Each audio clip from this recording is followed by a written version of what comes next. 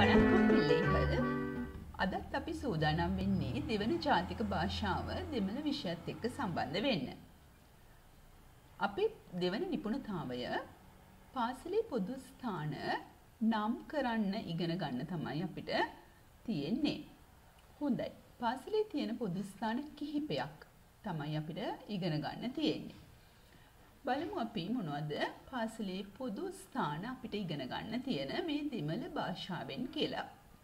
වහුප්පු පන්ති කාමරය නූලහම් පුස්තකාලය මයිදානම් ක්‍රීඩා පිටිය මල සලකූඩම් වැසිකිළිය අධිබර් කාර්යාලයම් විදුහල්පති කාර්යාලය ඔලට මේ වගේ පින්තූරත් දකින්න පුළුවන් පන්ති කාමරය වහුප්පු පුස්තකාලය නූලහම් ක්‍රීඩා පිටිය මයිදානම් වැසිකිළිය මලසලකූඩම්